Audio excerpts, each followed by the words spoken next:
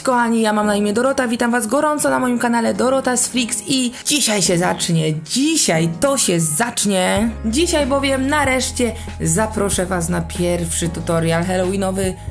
Ja czekałam na to bardzo, mam nadzieję, że wy również.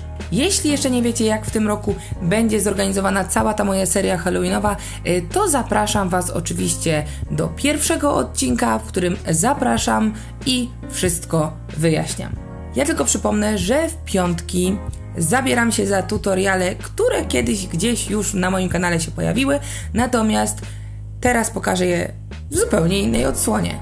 I tak na pierwszy ogień idzie południca, która pojawiła się tutaj dwa lata temu. Zrobiłam ją w takiej wersji, no, mocno autorskiej, a w tym roku południca, którą pokażę, na pewno rozpoznacie, że jest mocno inspirowana tą południcą z Wiedźmina.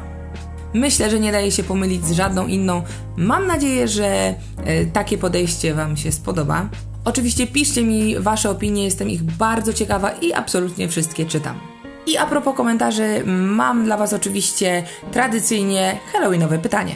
Napiszcie mi proszę, jakie miejsca przerażają Was najbardziej. Ja na przykład, mimo że kocham, absolutnie kocham las, mieszkam przy lesie, to panicznie boję się wchodzić tam po zmroku. No, no, no, no, no, za żadne pieniądze. I jeszcze na koniec mojego gadania zapraszam Was gorąco e, do udziału w moim konkursie halloweenowym. Wystarczy stworzyć charakteryzację, umieścić jej zdjęcie na Instagramie pod odpowiednim hashtagiem. A ja co tydzień w niedzielę wyłaniam jedną osobę, która skradła moje serce. To znaczy ta charakteryzacja. I ja oczywiście wiem, że Wy to wiecie i robicie to, ale tak przypominam, że warto subskrybować, e, wcisnąć dzwoneczek, żeby nic Was nie ominęło. A teraz przechodzimy do tutorialu. I tak, kochani, napatrzcie się na mnie szybko, póki wyglądam w miarę jak człowiek, bo za chwilę się to diametralnie zmieni. Pierwsze co robię, to zakrywam brwi, a potem yy, przyklejam maskę. A zanim pokażę Wam, jak to robię i co robię dalej, to przejdźmy do momentu, w którym tę maskę wykonałam. Maskę wykonuję na odlewie swojej twarzy, yy, który jest niestety trochę uszczerbiony, odpadła mi warga a maskę wykonuję taką techniką, y, którą w miarę łatwo możecie sobie również odtworzyć w domu, nie musicie tu robić żadnych y, negatywów, odlewać itd., tak itd. Tak Wystarczy tak naprawdę lateks i wata, Odlew twarzy oczywiście też się bardzo przydaje, ale tak naprawdę jesteście w stanie też to zrobić bezpośrednio na twarzy. Chociaż ja zdecydowanie polecam pracować na odlewie, bo jest to wygodniejsze, mniej męczące tak naprawdę i pierwsze co zrobiłam to nałożyłam warstwę lateksu, e, następnie jak widzieliście dosyć taką grubą warstwę e, waty, ale potem przykryłam ją kolejną warstwą lateksu i wata nasiąknęła tym lateksem, dlatego wydaje się jej teraz dużo mniej. I tak po kolei nakładam lateks, watę, e, lateks, jakby nasączam tę watę lateksem, formuję ją palcami, póki lateks nie jest zastygnięty. A to zastykanie lateksu na szczęście trochę trwa, więc jest ten czas na to formowanie. Przy jakichś drobniejszych szczegółach pomagam sobie narzędziami. Ja mam akurat takie dłutko, którym sobie pomagam.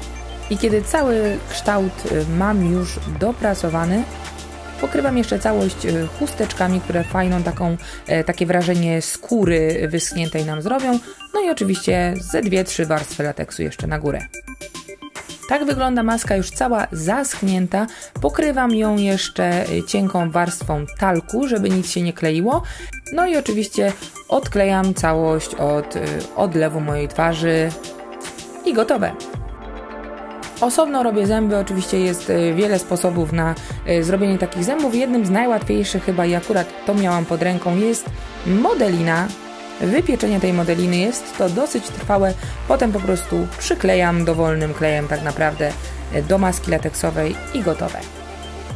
Gotowa oczywiście pierwsza część, bo teraz czeka nas jeszcze malowanie. Ja używam moich farb wodnych, które po prostu mam zawsze pod ręką. E, jestem do nich przyzwyczajona, jest mi po prostu łatwo nimi malować. Ale tak naprawdę możecie użyć e, dowolnych farb, możecie użyć e, farb akrylowych, Pewnie nawet plakatowe czy jakieś akwarele się nadadzą. Maluję w ten sposób, że najpierw robię taką ciemną, brązową bazę, następnie wszystkie wgłębienia podkreślam czarnym, delikatnie to rozmazuję tak, żeby, żeby było w miarę naturalnie, a następnie jakby wierzchnią warstwą jest kolor taki bardzo jasny, cielisty. Wracamy do mojej prawdziwej twarzy, i to, co muszę zrobić, zanim zamontuję na siebie maskę, y, to maluję dolną szczękę, y, ale także trochę nosa na czarno, ramiona i dekolt na taki zgnilakowy brąz. Tak samo maluję przy oczach i montuję maskę.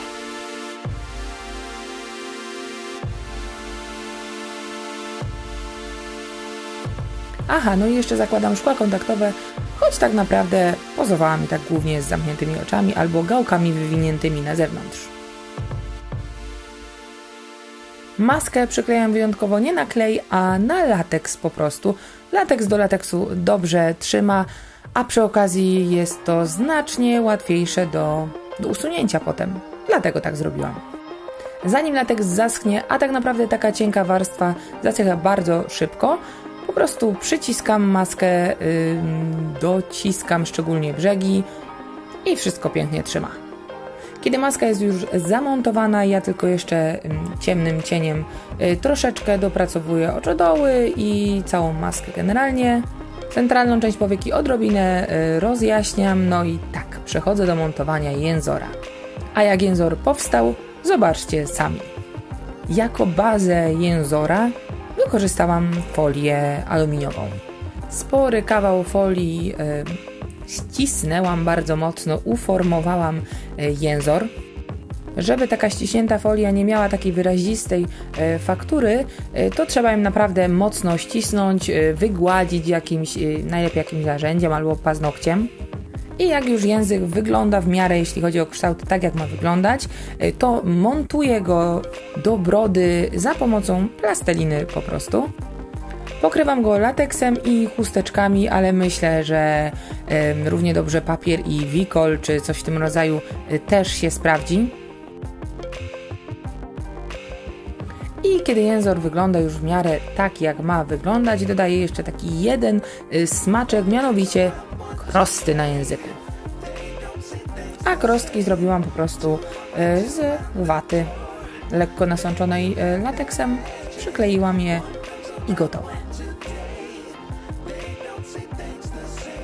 Następnie usunęłam go z mojego odlewu, usunęłam też tę plastelinę, która gdzieś tam przyczepiła się do niego. No i musiałam go oczywiście jeszcze e, pomalować. Tutaj taka sama zasada jak w przypadku maski, też malowałam e, farbami wodnymi e, i również baza była ciemniejsza. Po wierzchu przejechałam jeszcze bardzo jasnym kolorem, no i ten środek jeszcze pomalowałam na ciemno. Język przykleiłam już nie lateksem, a klejem Prozeit, dlatego żeby się naprawdę mocno trzymał. Klej jednak jest tym spoiwem silniejszym. A dodatkowo jeszcze na brzegi nałożyłam warstwę lateksu i chusteczek, żeby mieć pewność, że nic tam nie będzie mi odchodzić. I oczywiście polecam podsuszyć suszarą.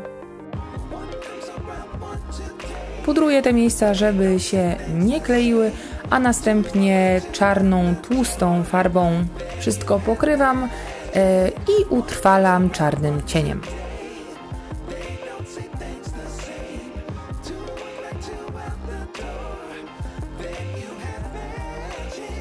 Tym samym czarnym cieniem e, dopracowuję jeszcze dekolt, podkreślam wszystkie e, kości, a raczej dołki pod tymi kośćmi, żeby wyglądać bardziej trupio.